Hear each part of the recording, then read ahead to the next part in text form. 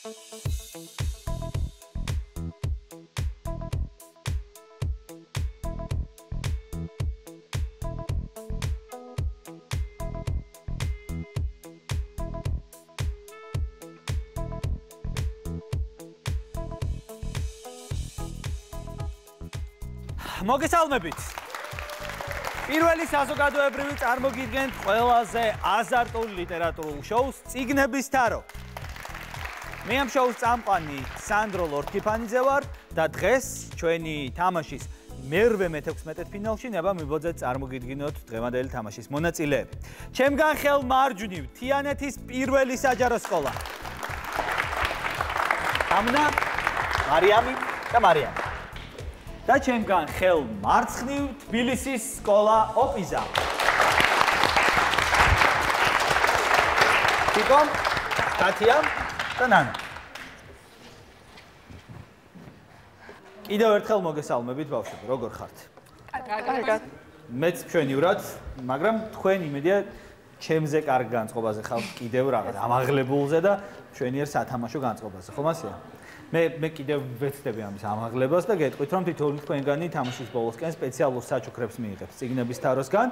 ხოლო გამარჯვებული გუნდი უკვე გადავა მერვედ ფინალში და გააგრძელებს ბრძოლას მთავარი პრიზის მოსაპოვებლად რომელიც გახლავთ საზაფხულო სკოლა კემბრიჯში.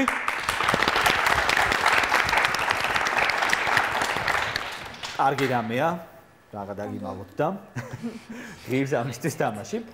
რა შეიძლება ჩვენი თამაშის წესებს წესები მაყურებლისთვის ეკრანზე გამოისახება. თქვენ კი ალბათ წესები მშვენივრად იცით. ხო? რაღა ალბათ იცით. კარგი, ძათხართ რომ დავიწყოთ თამაში? კი. მაშინ დავიწყოთ თამაში ციგნების თარა.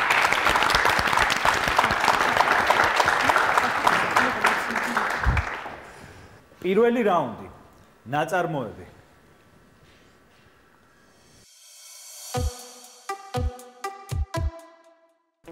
ციგნი რომელიც უნდა გამოიცნოთ. რა თქმა უნდა ცნობილ მწერალს ეკუთვნის. ნაწარმოები იმდენად შეიყვარა მკითხველმა რომ ნაგებობას სადაც მოქმედება ხდება დღემდე არაერთი ქვეყნიდან ჩასული ტურისტი სტუმრობს. ბევრი მკვლევარის აზრით სწორედ ამან დაუდო სათავე ტურიზმის თანამედროვე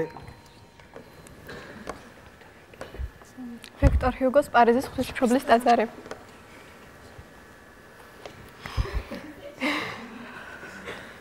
რატომ? აა ნაგებობა და ტურიზმის განვითარება შეიტანა წვლილი. თან ნაწარმოები. აა ზუსტად ასე ტურიზმის განვითარება შეიტანა წვლილი პარიზის ღვთისმშობლის ტაძრის დაწერით ჰიუგომ? მაგრამ ეს ხო ისედაც ცნობილი ნაგებობაა, ხო? ჰიუგოს დამსახურება. ეს ფიქრეთ პირველი ეს მოვიდა თავში. და პირველი რაც ფიქრეთ პირველივე ჯერზე გარისკეთ. დიახ. ალბათ ასეთია ამ თამაშში გამოცდილება. ეს სწორი პასუხია ნამდვილად. ძალიან რისკიანი სვა იყო თიანეთის პირველი საჯარო სკოლის მხრიდან, მაგრამ გამართლებული ამ შემთხვევაში, იმიტომ რომ ეს სწორი პასუხია და 3-0 ხდება ანგარიში. წინ დაიჭრა პირველივე ნაბიჯზე თიანეთი, ოპიზა. ამან ამან არ შეგაშინოთ, რაც თავარია, ხო? არც დაგაღონოთ, მით უფრო ბრძოლა წინ არის 6 რაუნდია წინ და აა უფრო თამამად. იმიტომ რომ დარწმუნებული ვარ რაღაც ვერსიის დონეზე თქვენს გაგიკრთებოდათ იგივე, ხო რა თქმა უნდა, ნაგებობა ვახსენ. კარგი, ასეა თუ ისე 3-0 ანგარიში და ვაგრძელებთ. მეორე რაუნდი. პერსონაჟი.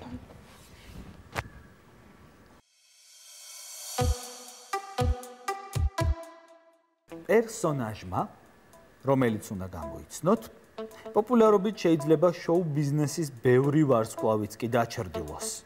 მიუხედავად იმისა, რომ ახირებული ხასიათი აქვს და როგორც წესი ხშირად სრულიად შეუმჩნევლად მოქმედებს.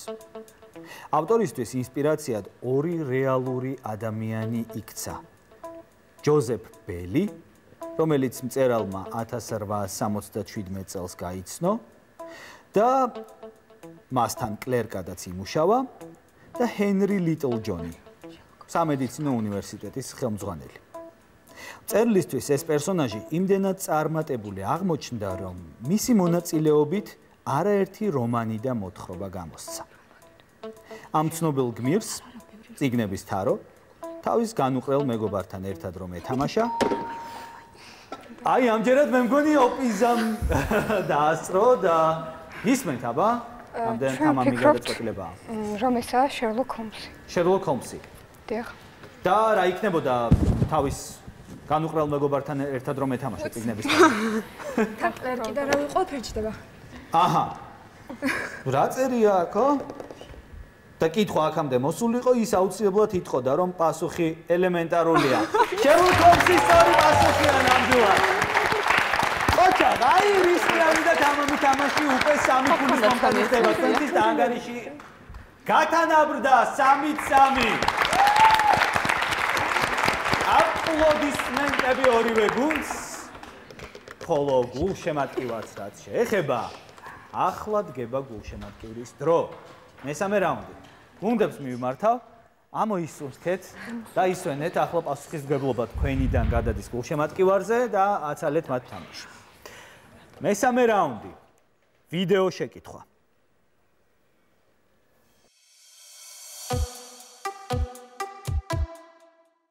ეს სიტყვა, რომელიც თქვენ უნდა გამოიცნოთ, არ არის რთული. მით უმეტეს გამოსაცნობად არ არის რთული, თუ იმას გავიხსენებთ, რომ აა, ადგილმდებარეობის სახელწოდებაა და შეიძლება ეს იყოს ქალაქ სახელმწიფოც კი ძალიან დიდი ხნის წინათ და თუმცა მნიშვნელობა თავისი დაკარგა იმის გამო, რომ კონსტანტინოპოლი გაძლიერდა, ყოფილი ბიზანტიონი და შემდეგ საერთოდ გაქრა და დიდი ხნის მანძილზე, საუკუნეების მანძილზე იყო გამქრალი ეს ქალაქ სახელმწიფო, ან ქალაქი, ან უბრალოდ დასახლებული ადგილი და 1870 წელს ერთმა გერმანელმა არქეოლოგმა, უბრალოდ ვაჭარმა და მდიდარმა ადამიანმა და არა არქეოლოგმა სინამდვილეში დაიწყო გათხრები და აღმოაჩინა რამდენიმე შრე. ერთ-ერთი აღმოჩენა იქ ჩატარებული არქეოლოგიური გათხრების შედეგად იქცა მთავარ დადასტურებად იმისა, რომ ანტიკურ ლიტერატურაში შექმნილი ნაწარმოები ეს არ არის მხოლოდ ავტორის ფანტაზიის ნაყოფი, არამედ არის რეალური ნამდვილად მომხდარი ამბები. არის არის ვერსია უკვე ოპიზის გულშემატკივარში გისმენთ. ჩვენი პასუხია ტროა. ტროა. დიახ. რა საინტერესოა, ბიზანტიონის გაძლიერებამ გამოიწვია მისი მეორე ფლანგზე გადასვლა და ბოლოს საერთოდ გაქრა. და გუნდებიდან ვინმე ხო არ აქვს რამე იდეა, მე ვინ იპოვა? აა მაიმე მეცოცა მოდი ვნახოთ, თავად ვინც დაგვისვა შეკითხვა, მან გვითხრას პასუხი. დიახ, სწორი პასუხია ტროა. გილოცავთ. ტროა სწორი პასუხია. და შედეგად ანგარიში ხდება 6-3 წინ გაიჭრა სკოლა ოპიზა, 3 ფულით. მესამე შეკითხვის შემდეგ ა, ტროა რომელზეც არაერთი ნაწარმოები არსებობს, თუმცა რა თქმა უნდა ყველაზე ცნობილი ჰომეროსმა შექმნა. 6-3 ანგარიში, მეგობრებო. ხო არ ნერვიულობთ? არა. სამქულიან ჩამორჩენის გამო. და არც ოპიზაა, მაინც და მაინც არ ხეინათ, რახან სამი ქულით არის წინ. ხო, ბრძოლა წინ არის, ვაცნობიერებთ ამ ყველაფერს. 6-3 ანგარიში. მოდით გავამხნევოთ გუნდები აპლოდისმენტებით. მომდევნო 4 რაუნდი მათ მოუწევთ ბრძოლა. და მეოთხე რაუნდი. ციტატა.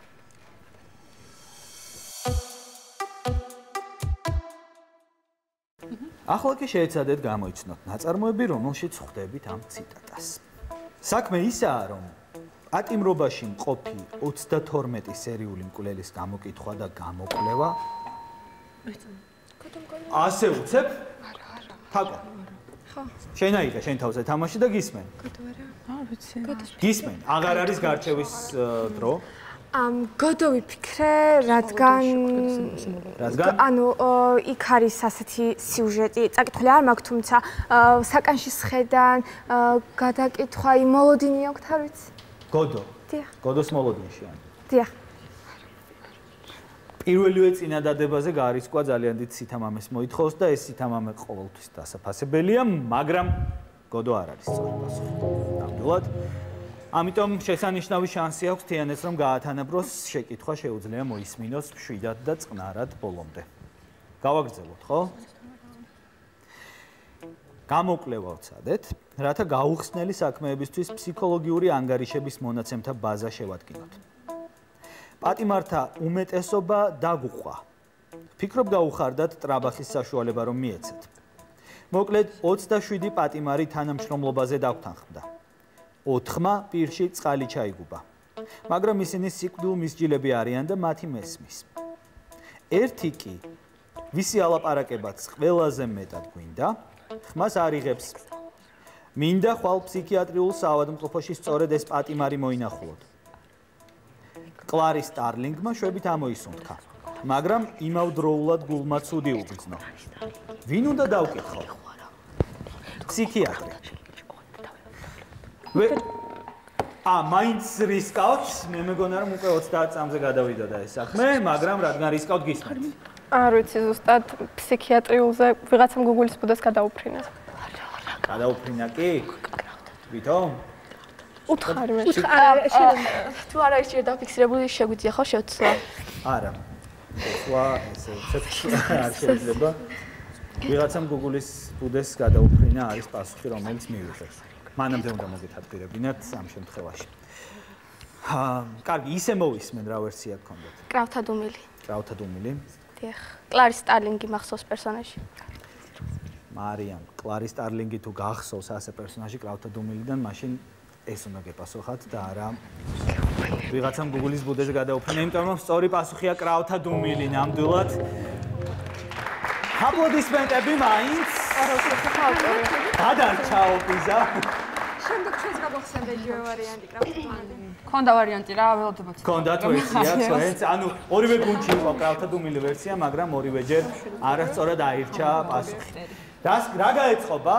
სამწუხაროდ ეს შეკითხვა არ არ აღმოჩნდა გულის მომტანი და ანგარიში კლავაც არის 6-3 წინ არის თბილისის სკოლა ოპიზა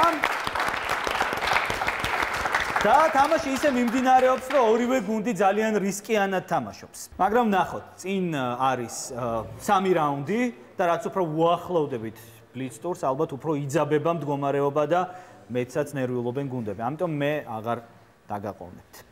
მეხუთე რაუნდი. ავტორი.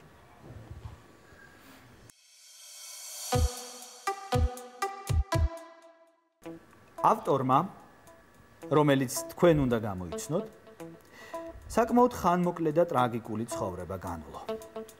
ის სახელოვან, მაგრამ ღარიბ ოჯახში დაიბადა და ყმაწვილობიდანვე ამაოდ ცდილობდა მიეღო უმაღლესი განათლება. გამგზავრებულიყო უცხოეთში ან სასწავლელი პროფესიით დაკავებულიყო. რასაც უსახსრობის გარდა სხვა მიზეზებიც უშლიდა ხელს. ოჯახის სრული გაღატაკებისგან დასახსნელად ამ ახალგაზრდა ავტორს კანცელარიის რიგითი მოხელის ადგილით დაკმაყოფილებაც კი მოუწია. რამაც კიდევ უფრო მეტი ბიძგი მისცა მის ღრმა სულიერ დეპრესიას. ამ ყველაფერს პირად ცხოვრებაში არსებული დრამაც თან დაერთო. რა საინტერესოა ამჯერად რას გვიპასუხებს ქიანეთის პირველი საჯარო სკოლა მარიამ გისმენთ ნიკოლოზ ბარათაშვილი ნიკოლოზ ბარათაშვილი გულშემატკივარს კი უხარია, მაგრამ მოდი მე ჩაგეკითხები. გახსოვს ნიკოლოზ ბარათაშვილი სად მუშაობდა? კანცელარია იყო, ნუ თუ ეს აქტივი. არ მახსოვს, ეხა არ მახსოვს. რა პირადი დრამა ჰქონდა ეს ხომ არ გახსოვს? ნუ მთელი მისი ცხოვრება პირადი დრამა იყო. კიდევ რაღაც სიყვარულშიც. სიყვარულშიც არ გამომართო. ხო, ეს ასეა ნამდვილად და თან ეს სწორი პასუხია. ნიკოლოზ ბარათაჩულს ჩემ ერთ-ერთ უსაყვარლეს პოეტს თქვენთვის სამი ქულა მოაქვს და ანგარიში თანაბდება. 6-6. რა თანაბდა ანგარიში, როგორც ვიწინასწარმეტყველეთ, დაძაბული თამაში მიდის და თითოეული ქულა შეიძლება გადამწყვეტი აღმოჩნდეს. ოპიზა. ხომ ხდეთ ხართ? ხო? მზად ხართ რომ ისევ წინ გაიჭრათ. თიანეთი. თქვენც მზად ხართ რომ ამჯერად თქვენ გაიჭრათ წინ. ორივე გუნდი მზად ხართ, მაგრამ ფაქტია რომ მხოლოდ ერთი გაიჭრება წინ, ამიტომ გადავიდეთ შემდეგ რაუნდზე. მეექვსე რაუნდი. მაყურებელი.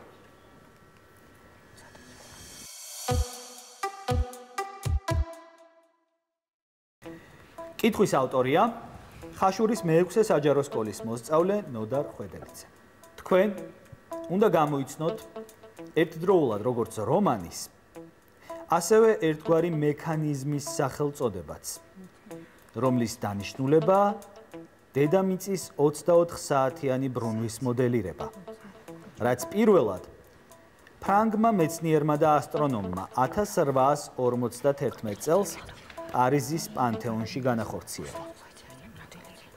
მან გუმბათის ქვეშ დაკიდა 28 კილოგრამი. ოჰო!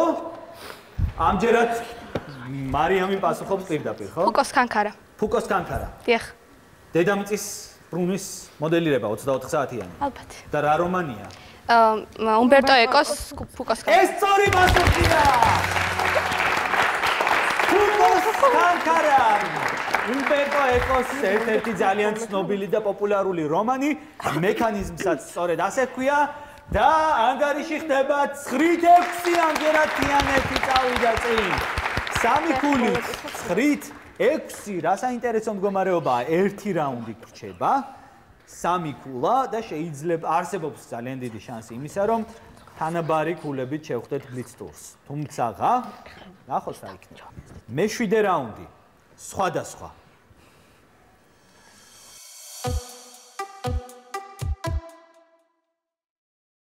ახლა კი შეეცადეთ გამოიცნოთ ერთგვარი ტანსაცმლის ტიპი.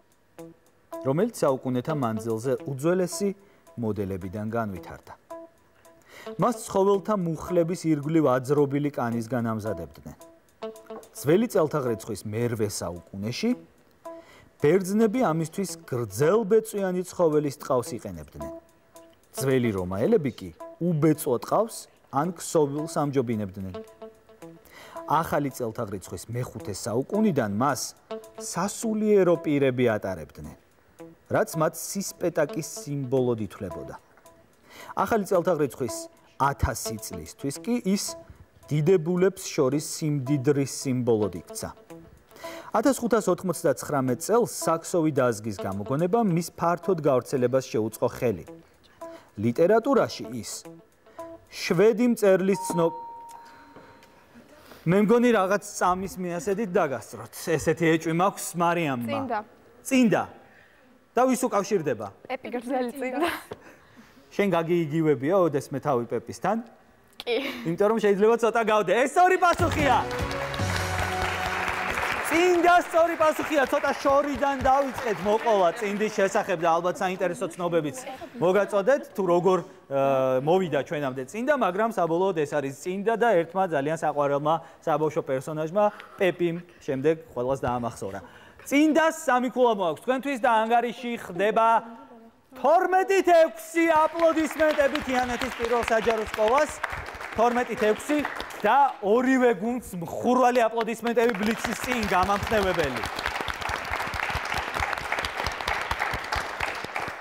მეგობრებო, 6 ქულა მართალია 6 ქულა, მაგრამ ბლიცში 6 ქულა თავისუფლად შეიძლება რომ შემოტრიალდეს. თავარი ამის თქვენ თვითონ ირწმუნოთ. მოდი მანამდე სანამ ბლიცზე გადავალთ, მე რა თქმა უნდა საჩუქრებს დაგირიგებთ. აბა ვნახოთ რა გვაქვს აქ. ნანო ეს შენ. ეს თათიას. დაკოს ჩანთას გავჩხრი გავ. რა არის აქ, რა არის? ჰერტა მიულერი მეფე დაიხრება და კლავს. და ჩვენი ბლოკნოტი რა თქმა უნდა ძალიან ლამაზი, რომელიც უკუღმა და განახეთ, აი ესე უნდა დამინახებინა და კიდევ ლამაზ-ლამაზი ნივთები, რომელიც ამ ჩანთაში ყრია, ეს ყველაფერი შენ თაკო? და თქვენ თითოეულ მონაწილეს ახლა კი საჩუქრებით დატვირთულნი უნდა შეეჭიდოთ ბლიცს. პირველი ვეკითხები თიანეთს, ვინ ითამაშებს ბლიცს? მე დავრჩებ. მარიამი. კარგი. მარიამ თამუნა დატოვეთ მარიამი ჩვენთან. და ვინ ითამაშებს ბლიცს ოპიზადან? თათია. კეთილი. დატოვეთ თათია. მარიამ ზათხარ პირველმა ითამაშო ბლიცი? მაშინ დავიწყოთ ბლიცი მარიამთან.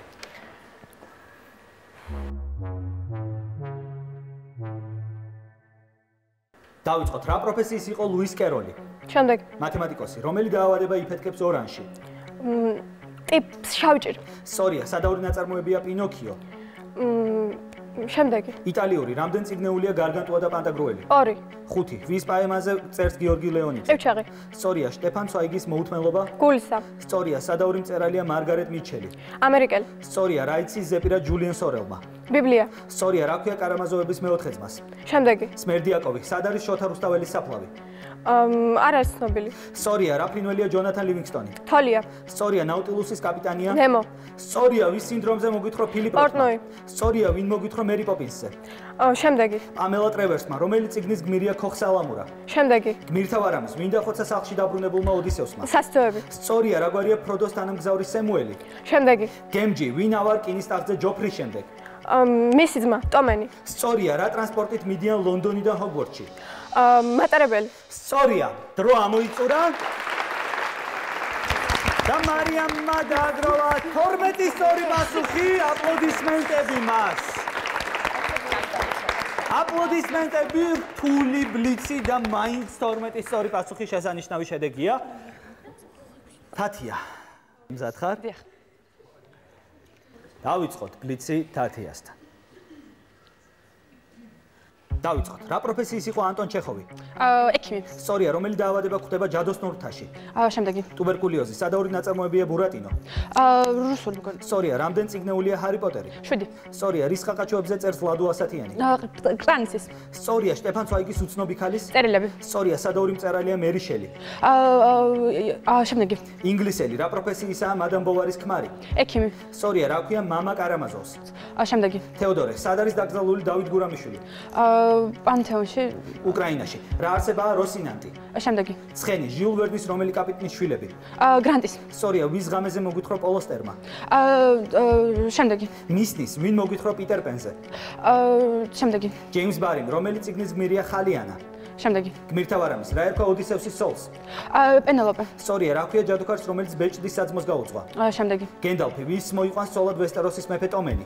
აა შემდეგი. მარჯერის, რომელ ბაქანზე ჩამოდგება ჰოგვორტსის ექსპრესი? აა 4 შემდეგი. დრო ამოიწურა 9 და 3 მეოთხედია, სწორი პასუხი.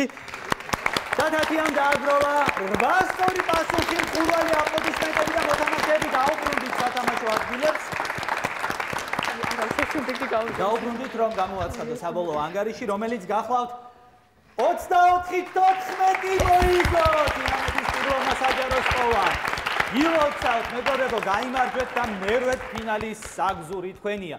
მე კი მინდა რომ ძალიან ხურვალი აპლოდისმენტები გთხოვოთ თბილისის სკოლა ოპიზასთვის გოგონებმა ფინალები თამაშეს მართლაც და ცოტა დააკლათ ბოლოს და ბოლოს, მაგრამ გამარჯვებულია თიანეთის პირველი საჯარო სკოლა. ფაქტი ფაქტად რჩება. მიულოცოთ მათ. მე კი იზღა დამრჩენია რომ ამ რთული და დაზაბული თამაშის შემდეგ დაგემშვიდობოთ და გითხრათ რომ ჩვენ შემდეგ თამაში ერთმანეთს დაუპირისპირდებიან თბილისის პირველი ექსპერიმენტული საჯარო სკოლა და ჩაქვის პირველი საჯარო სკოლა. უყურეთ ციგნების თაროს უგულშემატკივრეთ გუნდებს და იყავით აზარტული ყველაზე აზარტულ ლიტერატურულ შოუსთან ერთად. გემშვიდობებით.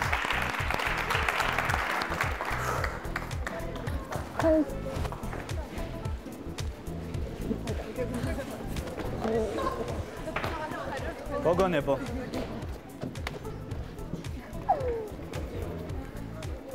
არა უშავს. ეგ მარცხი არაფერს ნიშნავს საერთოდ. ძალიან კარგად ითამაშებ და ფინალზე აქ